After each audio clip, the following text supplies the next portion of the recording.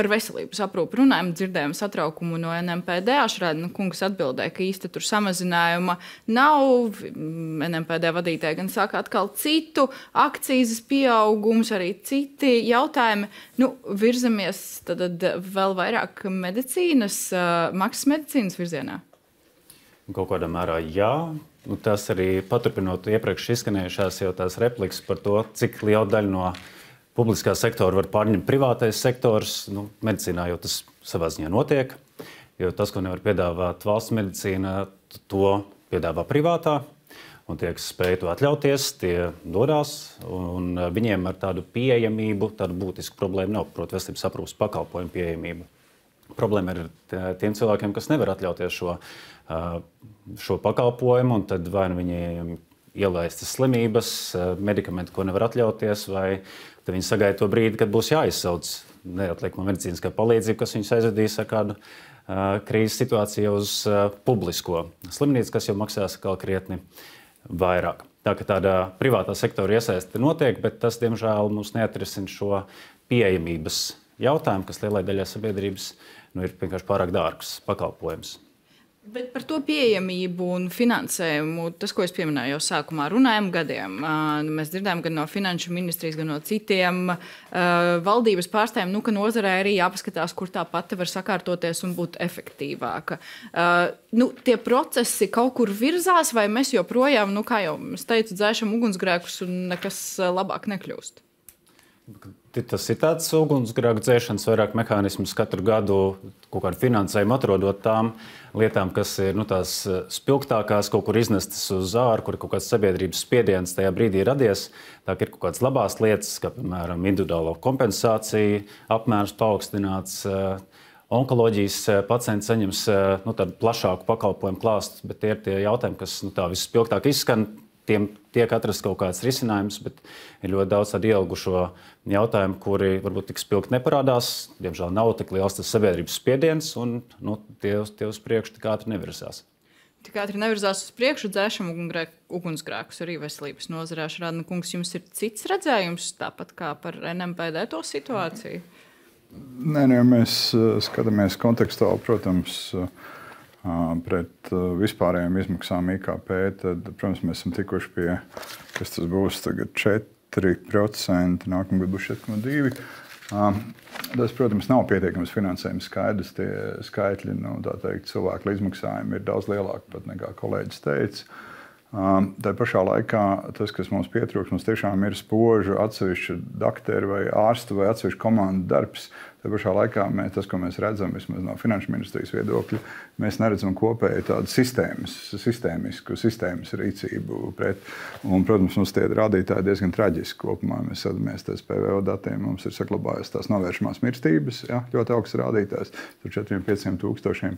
Tikko mēs revidējām, skatījāmies tā nodokļu pārskatīšanas ietveros, skatījāmies, ir darba tirgus mobilizācija 50 Eh, grupā 54 plus mums ir uh, tiešām milzīgi skaiti ar cilvēkiem, kas mājās ar invaliditāti. Viņi vienkārši netiek darba tirgu iekļaut, viņi normāli varētu strādāt. Un, un tas, ko es gribu, gribu teikt, ir divas lielas lietas - dati, ja, datu apstrāde. Un mums vajadzētu saprast, kas notiek primārā veselības aprūpē. Nopietni, tagad lēnām, lēnām nu, tā sistēma sāk lēnām tos datus salikt kopā. Ne, šo, šobrīd jau pat datu nav. viens hospitāls neredz to, ko otrā hospitāla ir izdarījuši. Nu, tā ir tā problēma. Un tad, jau, ja, tu, ja varētu labāk redzēt, sistēmiskāk strādāt ar datiem, tad jau varēja veidot arī sistēmiskas programmas, kā cilvēkiem palīdzēt. Jā.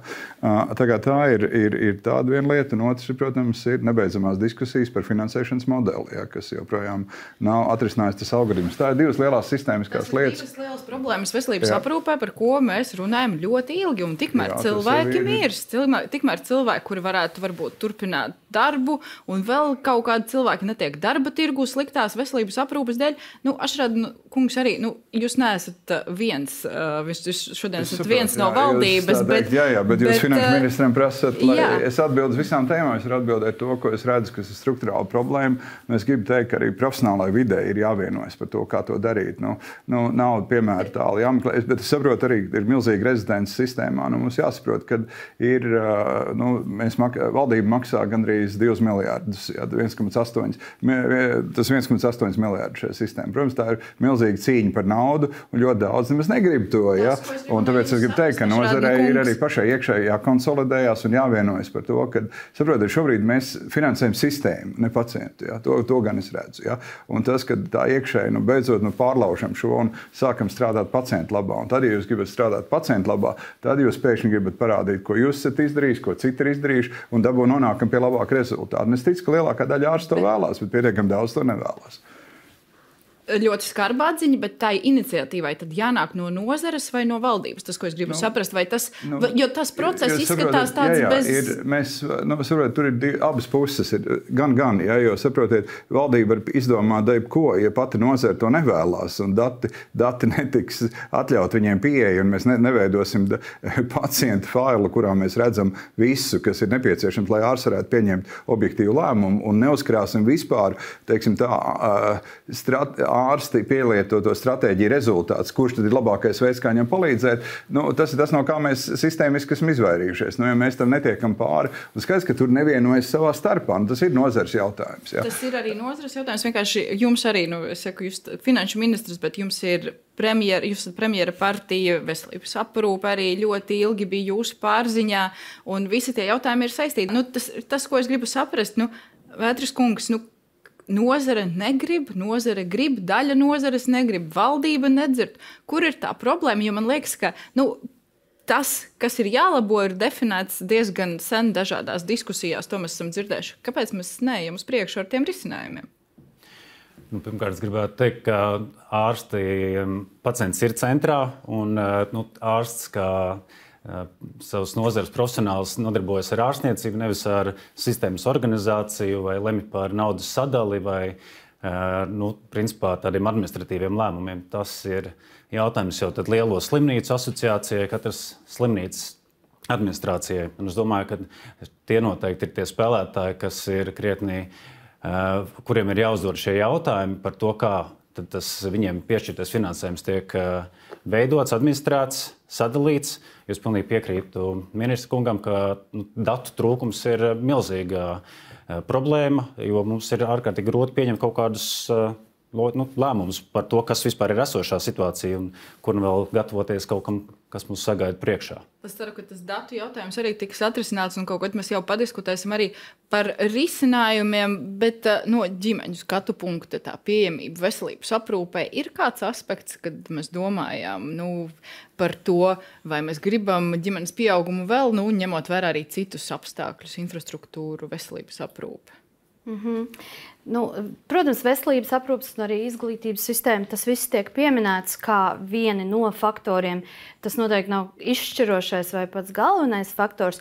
Tur ir citi vēl faktori, par kuriem mēs uh, varam atsevišķi parunāt. Uh, bet jūs teicāt, ka tie, kas var atļauties, tie izmanto maksas medicīnu. Tur es gribētu oponēt, ka maksas medicīnu izmanto arī tie, kas to nevar atļauties. Viņi vienkārši atrod līdzekļus kaut kam citam atņem, noņem. Un tajā brīdī, kad tev jās, jāsaprot, vai tu vari atļauties, piemēram, nezinu, bērnam gastroenterologu par 70 eiro vizīti, kas ir 15 minūtes gara, vai arī uh, to 70 eiro ieguldīt viņa nezinu, futbola pulciņā mēnesī. Tad viņa izvēle, protams, būs tas uh, maksas speciālists. Un, uh, līdz ar to nav godīgi teikt, ka to dara tikai tie, kas var atļauties. Un, uh, to es redzu arī kā ļoti, ļoti lielu problēmu.